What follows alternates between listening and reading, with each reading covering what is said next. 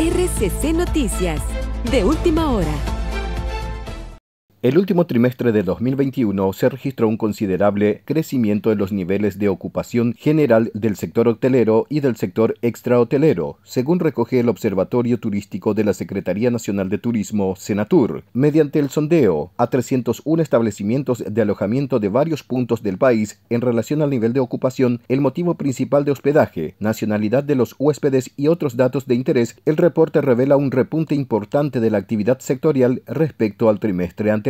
En el reporte se aprecia que el último trimestre del 2021 se registró una ocupación general de 29,8%, siendo el sector extrahotelero el que registra mayores números alcanzando prácticamente un 40% de promedio en su nivel de ocupación. En el sector hotelero, los servicios con mayor ocupación fueron los resorts 45,5% y los hoteles boutique 35,6%, mientras que el sector extrahotelero, los de mayor ocupación fueron los hostales y albergues 65%, los establecimientos de turismo rural o de granja 41,2% y las posadas o los establecimientos turísticos familiares 38,9%. Estas cifras fueron en aumento a medida que iniciaba la temporada de vacaciones, cuyas cifras definitivamente se conocerán en el reporte del próximo trimestre, es decir, a finales de marzo. En cuanto a la nacionalidad de los huéspedes, se observa que el 52% es de nacionalidad paraguaya, el 18,2% brasileros, el 15,6% argentino, el 6,2% alemanes, el 2,4% españoles y el 5,1% de otros países.